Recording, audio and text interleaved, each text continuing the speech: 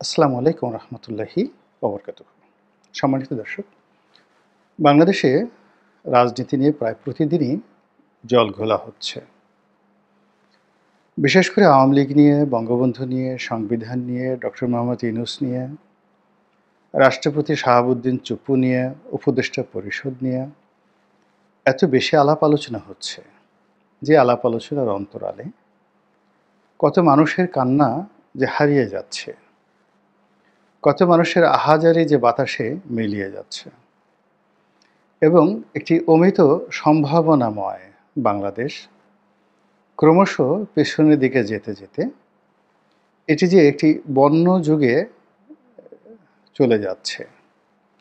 এ দৃশ্য দেখার মতো, বোঝার মতো কিংবা এ দৃশ্য অনুধাবন করার মতো যে প্রজ্ঞা, মেধা, যোগ্যতা, পরিবেশ, পরিস্থিতি দরকার, তা থেকে আমরা প্রায়ই মাহরুম হয়ে পড়ছি।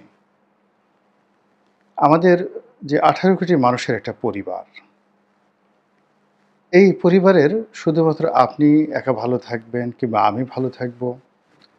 আজকে বঙ্গভবন থেকে কারও ডাক পড়ল, কেউ উপদেষ্টা হলেন, এর উপরই কিন্তু নির্ভর করে না। আমার দেশের কৃষক কেমন আছে? আপনার দেশের মুটেরা কেমন আছে? মাঝি জেলেরা কেমন আছে? ইলিশ মাছ কেন পাওয়া যাচ্ছে না? মানুষ একটু নিঃশ্বাস প্রশ্বাসের জন্য কোথাও বেড়াতে যেতে চাচ্ছে। সেন্ট মার্টিন কেন যেতে পারছে না? কিংবা সেন্ট মার্টিন দ্বীপে যে দশ বারো হাজার স্থায়ী বাসিন্দা আছেন তো তারা মূল ভূখণ্ডের এই সঙ্গে যোগাযোগের যে কড়াকড়ি, এই কড়াকড়ি করার কারণে তাদের জীবন, তাদের জীবিকা এবং তাদের বেঁচে থাকা। কতটা সেই দ্বিতীয় স্বাধীনতার স্বাদ পাচ্ছে, এটি আমরা অনুধাবন করতে পারছি না। উপদেষ্টা রেজওয়ানা যিনি আছেন, তিনি পরিবেশকে রক্ষা করার জন্য খুব জোরে চিৎকার করছেন। সারা বাংলাদেশকে তিনি একেবারে একটা গ্রিন বাংলাদেশ করার জন্য স্বপ্ন দেখছেন। এটা সারা দুনিয়ার যারা পরিবেশবাদী, তারা এইরকমই বলে। তিনিও যেহেতু আজীবন এই আন্দোলন করে আসছেন, তো কাজেই তিনি সেন্ট মার্টিনকে রক্ষা করতে চাচ্ছেন, তারপর প্লাস্টিকের যে বর্জ্য, এটা কমাতে চাচ্ছেন।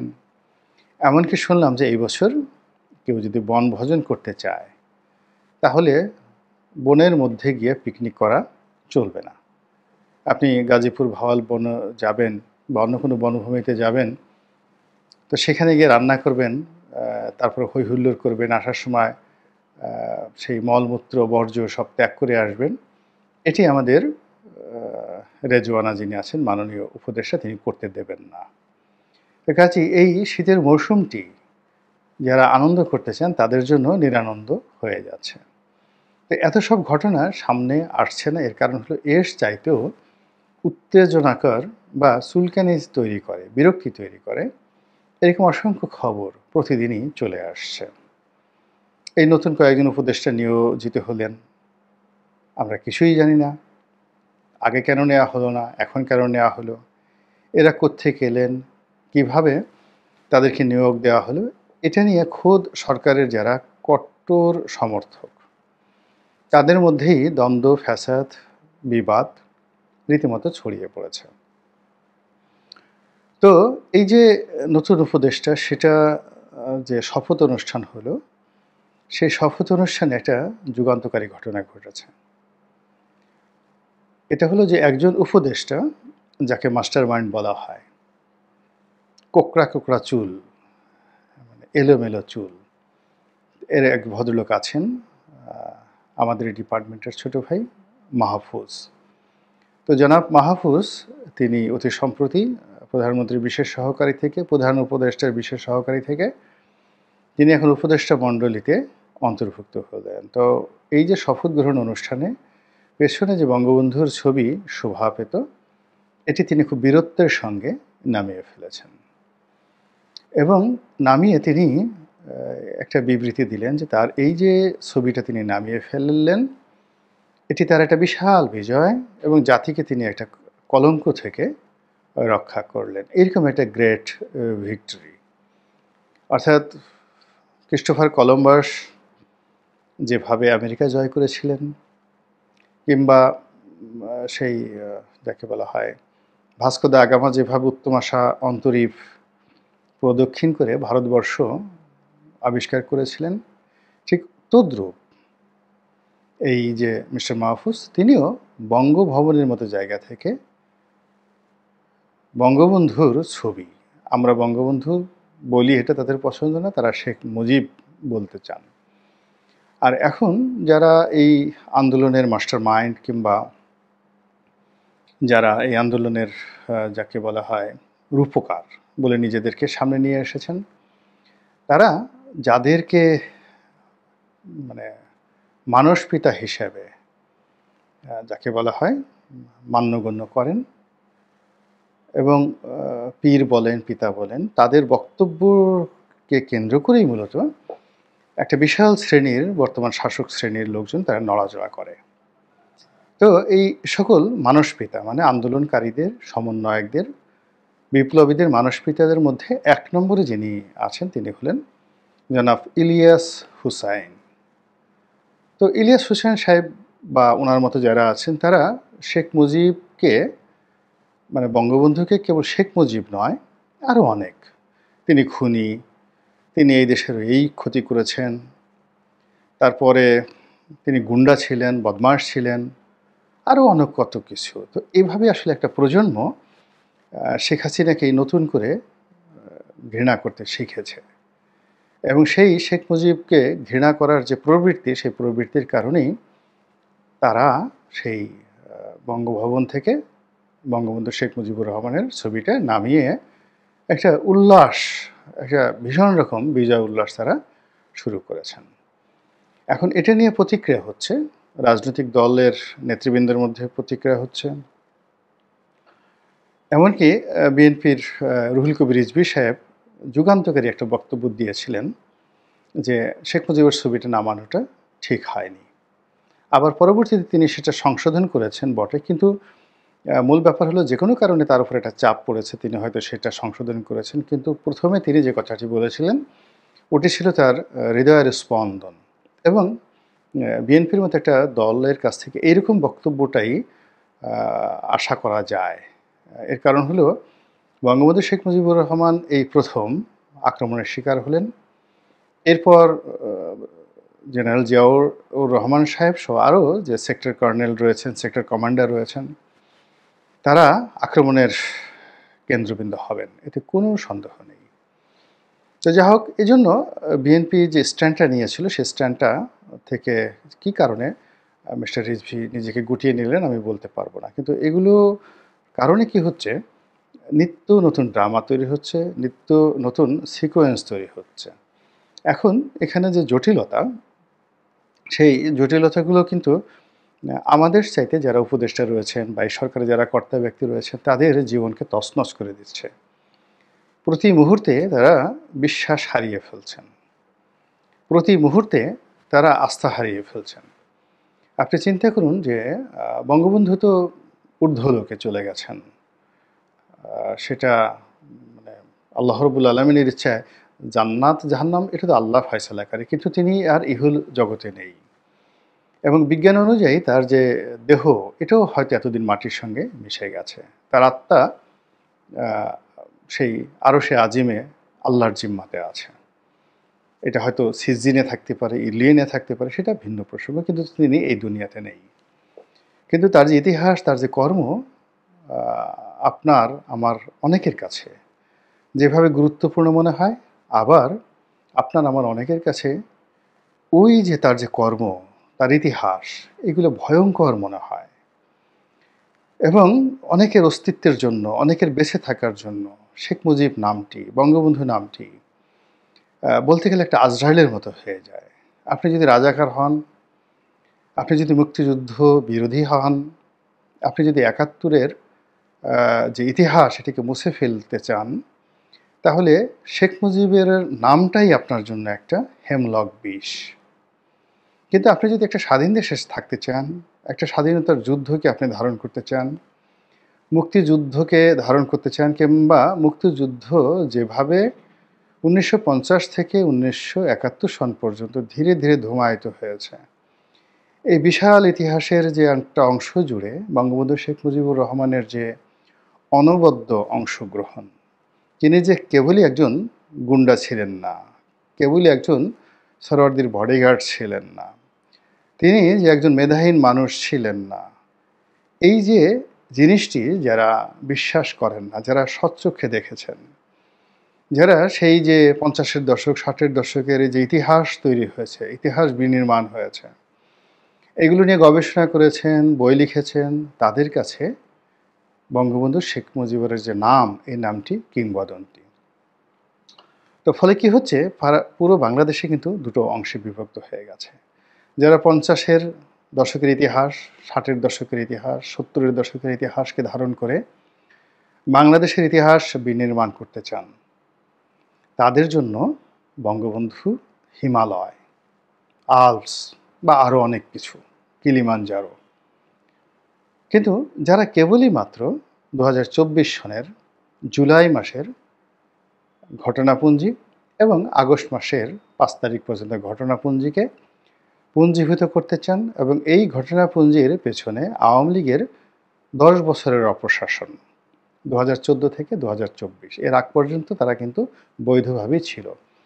তো এই যে নির্বা মানে নির্বাচনবিহীন, ভোটারবিহীন একটা নির্বাচন করে আওয়ামী লীগ যে এসেছে এবং দশ বছরে তারা যে অপকর্মগুলো করেছে, তাদের ভালো কাজ অনেক আছে, আমি সেগুলো বলব না। মন্দ কাজের কথাই বলি। এই মন্দ কাজকে কেন্দ্র করে যে রাজনীতি ধুমায়িত হয়েছে, যে গণ অভ্যুত্থানের ক্ষেত্র, অধিক্ষেত্র তৈরি হয়েছে, মানুষের মনে বিষক্রিয়া তৈরি হয়েছে, সেটি এসে একেবারে বিস্ফোরিত হয়েছে আগস্ট মাসের পাঁচ তারিখে। ফলে কি হলো? এই যে ২০ বছরের যে কঠোর মেধা শ্রম, এই শ্রমের ফসলটা আমাদের ছাত্র জনতার যারা আন্দোলনকারী, তারাই এটির মালিক হয়ে গেলেন। কারও কোনো আপত্তি নাই, তারা তো আমাদেরই সন্তান। কিন্তু সমস্যাটা হলো যে, তারা এই আন্দোলনের মালিক হয়ে সেই পঞ্চাশের দশক, ষাটের দশক বা সত্তরের দশকের যে বাংলাদেশের ইতিহাস সেই ইতিহাসটাকে তারা যদি রিসেট করে দিতে চান, তাহলে বঙ্গবন্ধুর মূর্তির উপরে প্রস্রাব করা কিংবা তার যে ভাস্কর্যের উপর মলত্যাগ করা, এটা আপনার জন্য কোনো সমস্যা হবে না।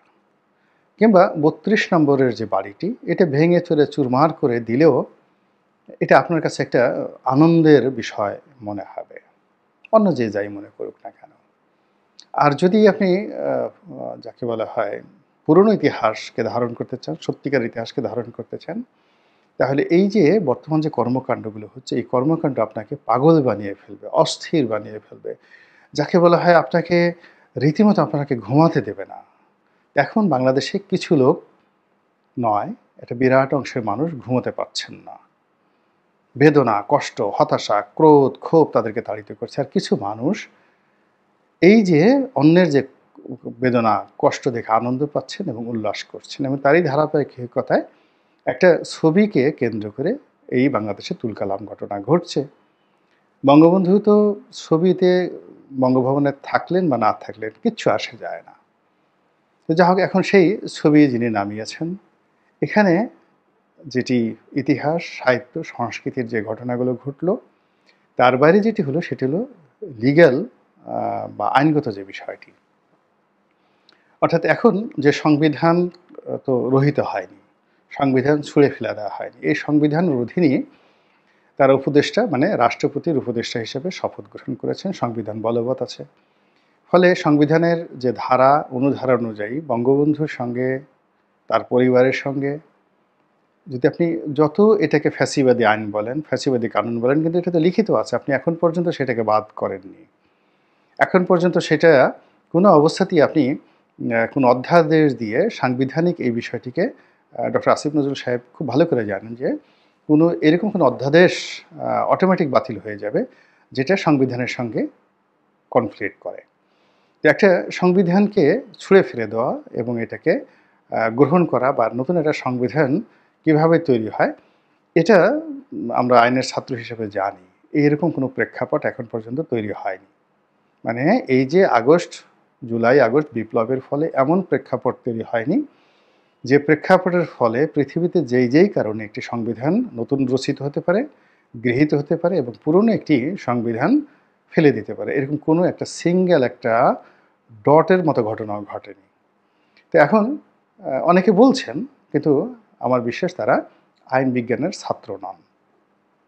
স্টুডেন্টস তারা জানেন না। তো যার জন্য সংবিধান এখনও কিন্তু একটা বিশাল বাধা। এবং সেই সংবিধানের যে আর্টিকেল অনুযায়ী, সংবিধানের আইন ইটস এ সুপ্রিম আইন, এই আইন কেবলমাত্র হাইকোর্ট ব্যাখ্যা করতে পারে। কিন্তু এই আইন হাইকোর্ট বাতিল করতে পারবে না। তো যা হোক, এখন সেই আইন অনুযায়ী বঙ্গবন্ধুর ছবি সরকারি অফিসে থাকতে হবে। তারপর হাইকোর্টের একটা রায় আছে, জয় বাংলা স্লোগান দিতে হবে। এরপর সেই বঙ্গবন্ধুর পরিবার নিয়ে কটুক্তি করা যাবে না। এখন আপনি কটুক্তিতে দূরের কথা আপনি পায়খানা করে দিচ্ছেন, পেশাব করে দিচ্ছেন এবং এটা বাড়তে বাড়তে বাড়তে বাড়তে আপনি একেবারে যাকে বলা হয় প্রধানমন্ত্রীর যে সরকারি বাসভবন, রাষ্ট্রীয় বাসভবন সেটা শেষ করে দিয়েছেন। শেষ করে দিয়ে এখন আপনি যে প্রেসিডেন্ট রাষ্ট্রের প্রধান সেই বাসভবন পর্যন্ত পৌঁছে গিয়েছেন। এবং এখন এই কর্মকাণ্ডের ফলে আপনার কি সংবিধানটি অক্ষুণ্ণ আছে? আপনি কি সব কিছু ঠিকঠাক মতো করেছেন বা এই কাজগুলো করার ফলে সংবিধান কি লঙ্ঘিত হয়েছে? তা যদি হয়, তাহলে আপনার অবস্থানটা কি? দুই নম্বর হলে, আপনি কি শপথ ভঙ্গ করেছেন? অথবা আপনি কি শপথ নিয়েছেন? এই জিনিসগুলো যেভাবে এখনও আলোচনা হচ্ছে এবং আগামী দিনে এই জিনিসগুলো আলোচনা হবে, তার চেয়ে বড় একটা বিষয় হলো বঙ্গভবন কি জনাব মাহফুজ চালান? নাকি ডক্টর মোহাম্মদ ইনুস চালান? নাকি রাষ্ট্রপতি জনাব শাহাবুদ্দিন চুপ্পু চালান? এ রাষ্ট্রের যে নিরাপত্তা, সেটা পুলিশ, সেনাবাহিনী থেকে শুরু করে আইনশৃঙ্খলা রক্ষাকারী বাহিনী কিংবা রাষ্ট্রপতির যে দপ্তর এবং রাষ্ট্রপতিকে রক্ষা করার জন্য যে পিজিআর রয়েছে, এখন এই যে প্রেসিডেন্সিয়াল গার্ড রেজিমেন্টের পেছনে আমরা প্রচুর টাকা পয়সা খরচ করি। তো এখন সংবিধানে যে জিনিসটি লেখা রয়েছে, সেটির একটা ছবি দেখা গেল একজন মন্ত্রী, পদমর্যাদার একজন যুবক। তিনি সেই বঙ্গভবনে ঢুকে সেখান থেকে একটা ছবি নামিয়ে ফেলতে পারেন। বঙ্গভবনে যে কোনো একটা সিদ্ধান্ত পরিবর্তন করতে পারেন। তাহলে তার যে ক্ষমতা, সেই ক্ষমতা যদি অক্ষুণ্ণ থাকে, তাহলে তো চুপ্পু সাহেবের কোনো ক্ষমতা নেই, সেনাপ্রধানের কোনো ক্ষমতা নেই, পিজিআরের কোনো ক্ষমতা নেই এবং পিজিআরের কোনো দরকারও নেই। তো এই বিষয়গুলো নিয়ে প্রায় প্রতিদিনই এমন সব জটিল পরিবেশ পরিস্থিতি তৈরি হচ্ছে